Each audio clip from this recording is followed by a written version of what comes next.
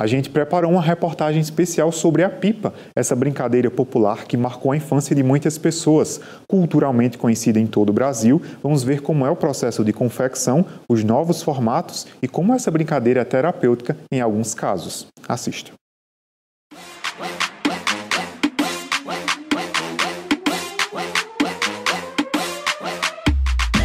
A brincadeira de soltar pipa chegou no Brasil por volta do ano de 1596. Rapidamente se espalhou por todas as regiões do país e se tornou uma brincadeira popular que marcou a infância de muitas pessoas. Aqui na Paraíba ela já foi conhecida como coruja ou pipa e é capaz de nos trazer uma sensação de liberdade quando está no céu, uma atividade mágica e milenar.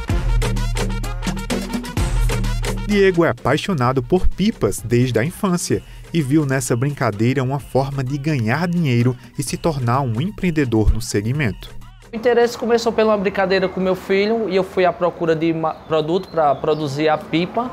E quando eu cheguei no comércio, eu vi que faltava no comércio. Aí começou, eu comecei a anunciar que eu fabricava e começou a surgir os pedidos. A pipa hoje ela teve mudanças. Antigamente a gente fazia é, a pipa, ela modo antigo, era um pedacinho de folha de papel, de caderno e a gente fazia. Ou se não usava é, plástico reciclável.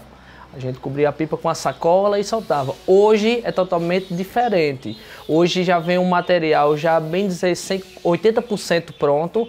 Os papéis ele já vem com imagem de personagem, todo tipo. O que me chama mais atenção é quando eu termino e vejo uma criança soltando.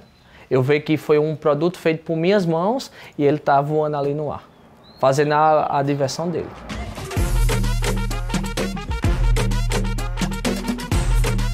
São tantos formatos, cores que o céu fica ainda mais encantador com as pipas e não tem idade para brincar.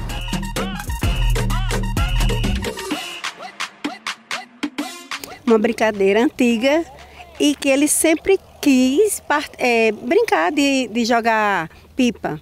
Porém, a coordenação dele nunca, tinha, nunca era boa. Então, esse momento foi um momento sim, muito importante, especial e que vai ficar guardado na memória, com certeza na minha e na dele, porque juntos a gente vai dizer, e aquele dia que a gente brigou de pipa no campo?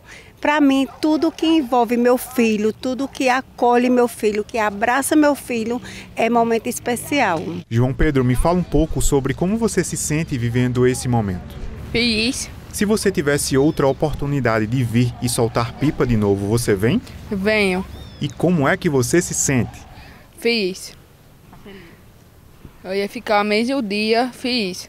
Nós nos sentimos privilegiados em proporcionar esse momento e participar deles com esse resgate da nossa infância, né, enquanto professores que na nossa infância tínhamos mais essas oportunidades e hoje poder vê-los tendo esse momento de socialização, de interação com o meio ambiente, com alguns familiares, com outras crianças. Então, sair um pouquinho desse universo de tecnologia do tempo todo, eu acho que é de um ganho imensurável. Foi muito interessante e muito bom ter essa experiência. A experiência dessa brincadeira vai além da diversão. Desde a confecção, a atividade final é terapêutica, explica a especialista. Inclusive, no período da pandemia, por exemplo, que a gente estava bem restrito de contato físico, era uma das possibilidades que a gente poderia encaminhar para os pais utilizarem dentro de suas casas para fazer, assim, a gente dava orientações remotas para que eles pudessem construir materiais como é, pipa, bonecos, coisa com caixa de sapato, todos esses tipos de materiais. Então, é, era também um estímulo terapêutico para aquele período em que ficou todo mundo isolado, ali sem muita é, possibilidade né, de, de, de, algo externo. Então, pode sim ser usado como um recurso terapêutico. A gente pode trazer cores, mas também personagens é, ideias de, do que a criança gostaria de imprimir, da personalidade dela na, naquela pipa, né, naquele material.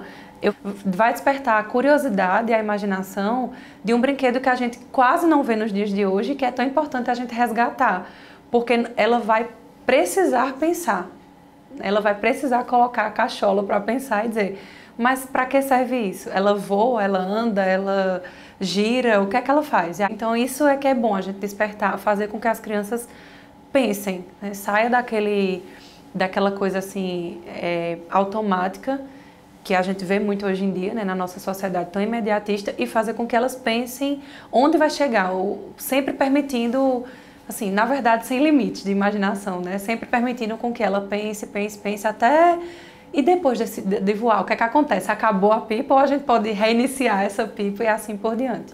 Então estimula também essa capacidade de pensamento crítico e criatividade. A pipa é cultura e transforma a infância da garotada. Jonatas participa de campeonatos profissionais de soltar pipa e mantém essa tradição na sua família. Então, desde 8 anos de idade, né, que eu tenho a pipa comigo, já levei também para meus filhos, comunidade onde eu já, já passei e até hoje continuo também tirando um pouquinho do meu tempo, que é nos sábados, depois do, da, da, da tributa de, de, de, trabalho, a gente levar, entendeu? Aquele pouco tempo que a gente tem, levar um pouco mais de cultura e conhecimento da pipa em, todo, em toda a Paraíba. Nós pipeiros de Campina Grande, a gente assume uma responsabilidade maior. A gente vê muita coisa acontecendo, principalmente a violência. Eu acho que a pipa, ela atrai você e também traz também uma, uma mentalidade totalmente diferente. Então você trazendo a criança para esse mundo, para conhecer um pouco mais disso aí, eu tenho certeza que ela vai abrir a mente e a pipa ela é envolvente.